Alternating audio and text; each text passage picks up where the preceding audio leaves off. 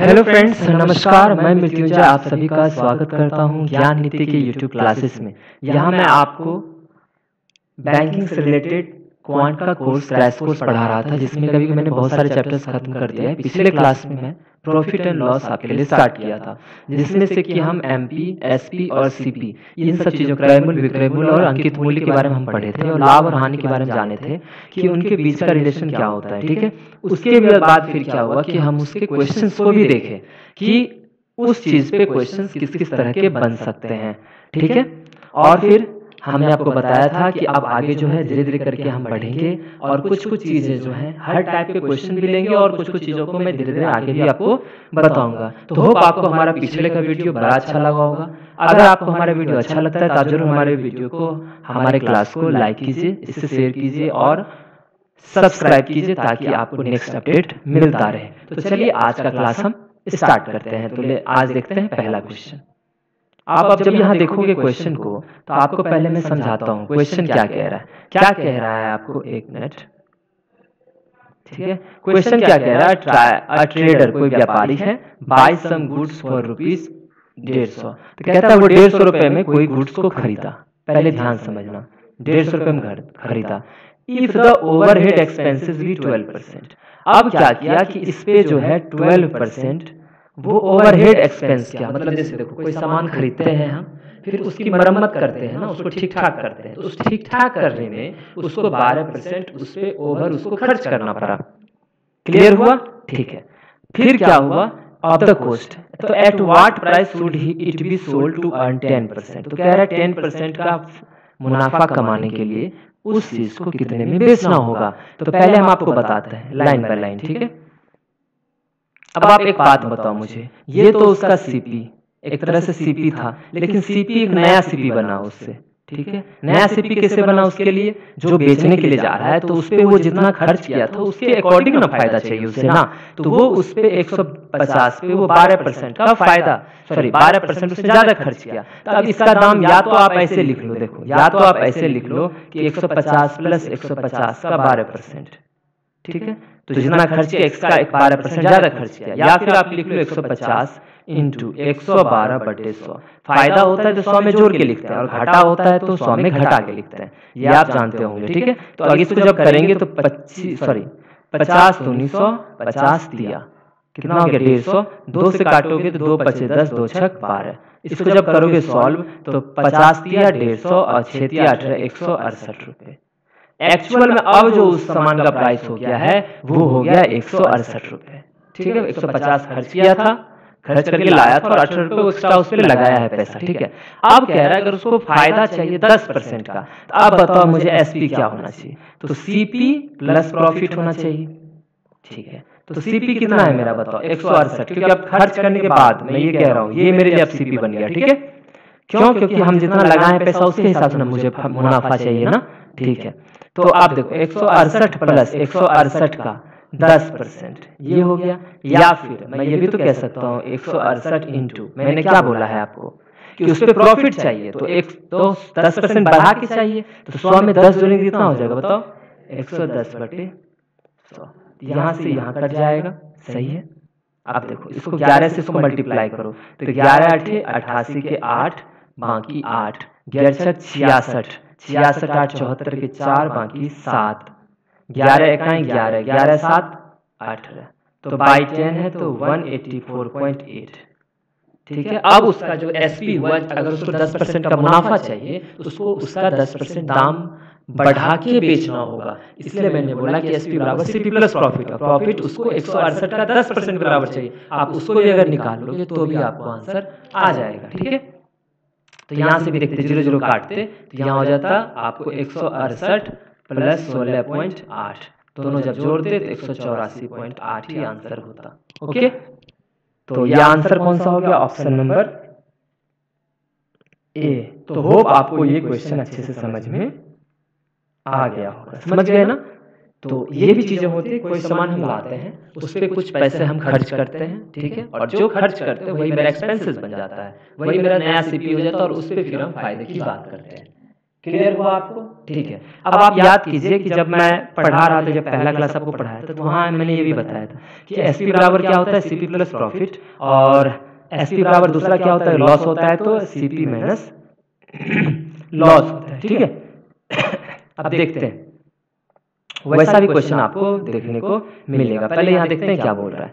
कह रहा है two third of a consignment कोई सामान है, उसका दो third was sold at profit of six percent while the rest at a loss of three percent if there was an overall profit of इतना the value of the consignment was कह रहा है, कोई सामान है, मान लो मेरे पास तीन बुक है, ठीक है, उसका बोला दो थर्ड मतलब दो बुक को हम छह परसेंट प्रॉफिट बेचे हैं, और एक जो बुक है, उसको तीन परसेंट लॉस पे बेचे हैं।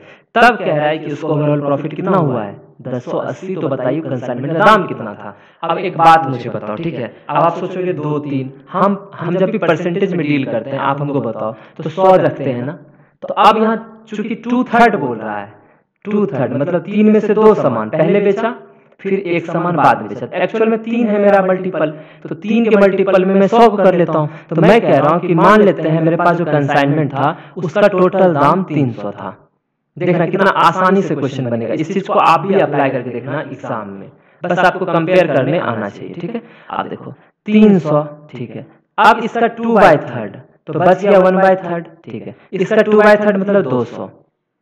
और एक वन बाय थर्ड मतलब सौ। सही है ना? अब देखो क्या बोला? Two by third of consignment was sold at six percent profit इसको क्या किया वो छह परसेंट मतलब प्रॉफिट में बेचा और इसको क्या किया? वो माइनस तीन परसेंट के लॉस पे बेचा।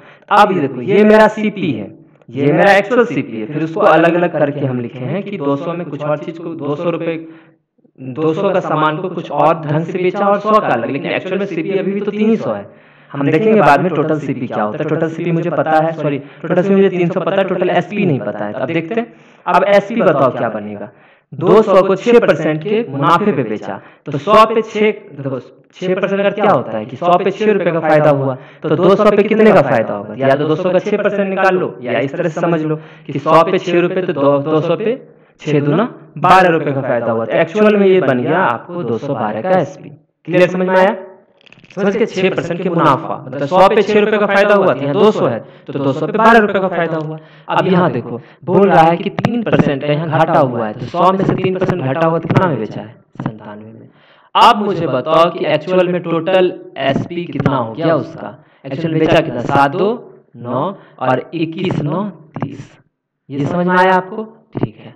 अब जो पहले जब लाया, ठीक है तो तीन सौ में लाया था। लेकिन एक्चुअल जब उसको बाइफरकेट करके अलग अलग मुनाफे और घाटे के साथ बेचा तो एक्चुअल में उसको कितना रुपए मिला? सब कुछ करने के बाद तीन सौ नौ रुपए, ठीक है? लेकिन यहाँ क्या बोला है? क्वेश्चन में कि if there was an overall profit of दस सौ अस्सी रुपए।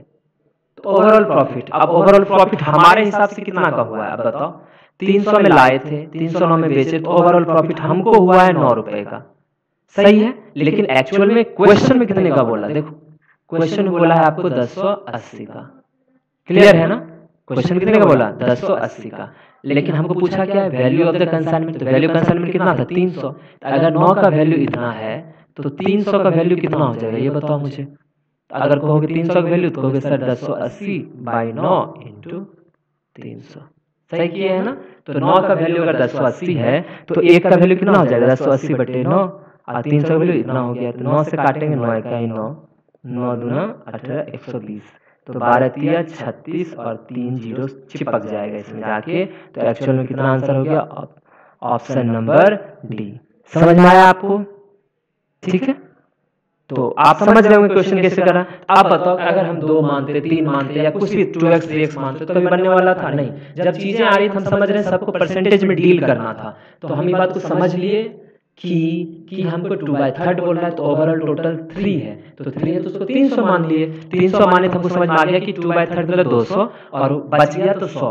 तो जो दो सौ था उसको छह परसेंट के मुनाफे पे बेचे तो दो सौ बारह में बेचे उसको, और सौ को तीन परसेंट के घाटा पे बेचे तो संतानवे में बिका। फिर दोनों को जोड़ लिए, तीन सौ नौ हो गया। तो हमारे हिसाब से तीन सौ पे तीन सौ नौ बिका है तो नौ रुपए का फ़ायदा हुआ। लेकिन उसके हिसाब से कितने का फ़ायदा बोल रहा है? दस सौ अस्सी। तो नौ का वैल्यू अगर दस सौ अस्सी है तो तीन सौ तीन सौ का वैल्यू निकाल लेंगे तो वो हमारा छत्तीस हज़ार आ जाएगा। तो होप आपको ये क्वेश्चन बड़े अच्छे तरीके से समझ में आया होगा, ठीक है? तो चलिए अब देखते हैं। नेक्स्ट टाइप का क्वेश्चन किस तरह का आ सकता है? आप देख रहे होंगे, मैं हर तरह का क्वेश्चन ले रहा हूँ और हर एक तरह के क्वेश्चन को अच्छे से बता रहा हूँ ताकि आपको समझने में दिक्कत ना आए। और किसी भी चीज़ में ज़्यादा वो फॉर्मूला वगैरह लगाने की ज़रूरत है ही नहीं। हम आपको बताएँगे ऐसा ही मैथड जिससे कि आपके लिए चीज़ें क्या हो जाएँगी? आसान हो जाएँगी। क्लियर तो चले अब नेक्स्ट क्वेश्चन की तरफ़ ओके तो ये रहा आपका नेक्स्ट क्वेश्चन अब इसमें यूज़ क्या होगा? पहले तो हम क्वेश्चन समझा देते हैं आपको, ठीक है? फिर आपको हम बताएँगे इसमें क्या यूज़ होगा।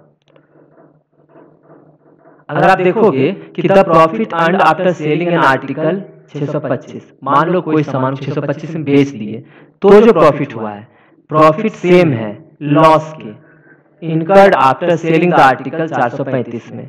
जब किसी सामान 635 में बेच 625 में बेचते हैं तो उस पर जो प्रॉफिट होता है, और लॉस होता है जो 435 पे तो दोनों सेम है। लेकिन यहाँ पे सीपी भी सेम है। आप समझिएगा। अब मैं आपको दो चीज़ें याद दिलाना चाहता हूँ। अगर आपको याद है तो ठीक है। आप बताओ मुझे। मैंने आपको बताया था कि एसपी बराबर होता है सीपी प्लस प्रॉफिट तब बताओ प्रॉफिट बराबर क्या हो जाएगा? एसपी माइनस सीपी कोई दिक्कत नहीं। ठीक है। और एसपी बराबर आप जानते हो सीपी माइनस लॉस तो लॉस बराबर क्या हो जाएगा? सीपी माइनस एसपी अब हमको दोनों बार में एसपी पता है जब प्रॉफिट हुआ है तो 625 है। जब लॉस हुआ है तो एसपी मेरा कुछ और है 435 है। सीपी दोनों से सेम है, क्योंकि सेम सामान सेम रुपए में खरीदे होंगे तो कंडीशन लगाने के बाद एसपी डिफरेंट हो गया, क्योंकि एक बार प्रॉफिट हुआ है एक बार लॉस हुआ है। तो हम इसको लिखते हैं क्योंकि आपको बोला कि प्रॉफिट और लॉस दोनों बराबर है। तो पहले के हिसाब से बताओ, क्या होगा? एसपी कितना हो गया? 625 माइनस सीपी सीपी लिख लेते हैं, बराबर। सेकेंड में लॉस हुआ है लॉस के लिए क्या लिखूँगा मैं? सीपी माइनस लॉस के बाद एसपी मेरा क्या बना है? चार सौ पैंतीस। समझ में आया आपको? ये सीपी इधर आ जाएगा। तो इधर आ जाएगा तो एक सीपी यहाँ था, दूसरा सीपी आएगा तो कितना हो जाएगा? ये वाला सीपी इधर जाएगा तो एक सीपी एक सीपी टू सीपी और चार सौ पैंतीस इधर आ जाएगा छह सौ पच्चीस प्लस चार सौ पैंतीस। दोनों जोड़ दो तो पैंतीस, पच्चीस, साठ छः चार, दस, सौ साठ। ये हो गया। तीन दो, पाँच, एक छः और छः चार, दस टू सीपी हो गया। तो सीपी आपका कितना आ गया बताइए? दो से काटना पड़ेगा, दो पच्चीस दस, दो सौ तो पाँच सौ तीस। कहीं ऑप्शन है कहीं पे?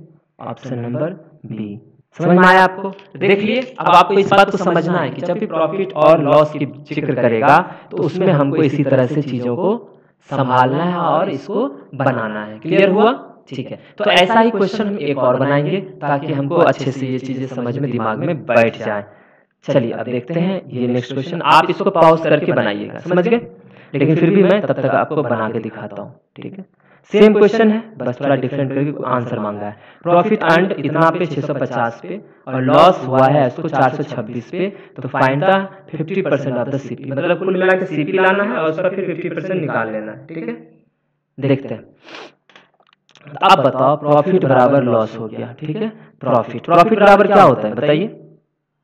S P minus C P होता है ना S P minus C P छः सौ पचास माइनस सी पी होता है लॉस बराबर क्या होता है C P minus S P तो चार सौ छब्बीस कोई प्रॉब्लम नहीं ना अब देखो ये सी पी इधर आएगा इधर हो जाएगा टू सी पी और ये चार सौ भी इधर आ जाएगा छः सौ पचास प्लस चार सौ छब्बीस अब बताओ मुझे टू सी पी कितना हो जाएगा तो छः हो गया पाँच दो सात छः चार दस तो आप बताओ सीपी कितना हो गया? सीपी हो गया दो पचे दस और अड़तीस दूनी छिहत्तर, पाँच सौ अड़तीस। लेकिन आपको बताओ, आंसर में क्या बोला है? फिफ्टी परसेंट सीपी का। तो सीपी का फिफ्टी परसेंट एक बटे दो।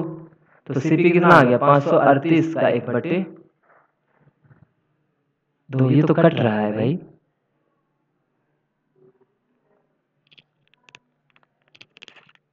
सही बनाया ना 650 और 406 चार दस, पचास बीस, छिहत्तर। एकदम सही है। टू सीपी तो दो से काट दो पचे दस, दो तीन अच्छे, दो अड़तीस सोलह, पाँच सौ अड़तीस।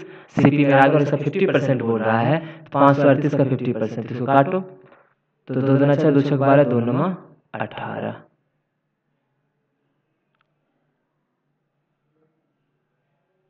अच्छा अच्छा यहाँ देख रहे हो क्या बोल रहा है। Find the half of the fifty percent of the अब समझो क्या बोल रहा है? सीपी जितना आया सीपी के फिफ्टी परसेंट का हाफ़ बोल रहा है। मतलब एक बटे दो और आएगा, समझ गए? तो यहाँ पे एक बटे दो और मल्टीप्लाई होगा। समझ रहे हो ना? देखो यहाँ क्या बोला है। Find the half of the fifty percent of the cost price cost price का फिफ्टी परसेंट का भी हाफ़ तो कोस्ट प्राइस का फिफ्टी परसेंट मतलब वो भी होता है एक बटे दो।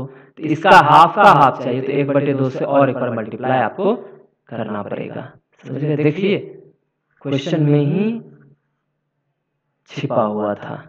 ठीक है? तो देखते हैं। इसको आधा करेंगे क्या हो जाएगा? दो इकाई दो दो तिया छः दो चौके आठ, दो पचे दस, एक सौ चौंतीस पॉइंट पाँच। कहाँ है ऑप्शन? ऑप्शन नंबर ए।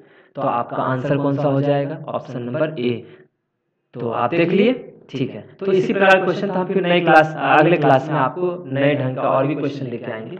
उसको भी समझेंगे। तो इस बात को आप ध्यान रख लो कि प्रॉफिट और लॉस होता क्या है। प्रॉफिट होता है मतलब जब सीपी में हम प्रॉफिट जोड़ते हैं तो हमको एसपी मिलता है और सीपी में जब हम लॉस घटाते हैं तो हमको एसपी मिलता है। तो उस हिसाब से ऐसे टाइप के भी क्वेश्चंस बन सकते हैं। और कुछ चीज़ें आप अभी देखिए कि वर्ड में भी हेर फेर हो सकता है। तो अभी तक आप क्या कर रहे थे? M P C P S P इससे रिलेटेड चीज़ें देख रहे हैं। अब आगे इस और भी अच्छे अच्छे क्वेश्चन लाऊँगा, अच्छे अच्छे कंसेप्ट पे। उसको भी समझना है हमें कि किस तरह से वो बनेगा। तो हम मिलेंगे आपसे नेक्स्ट क्लास में।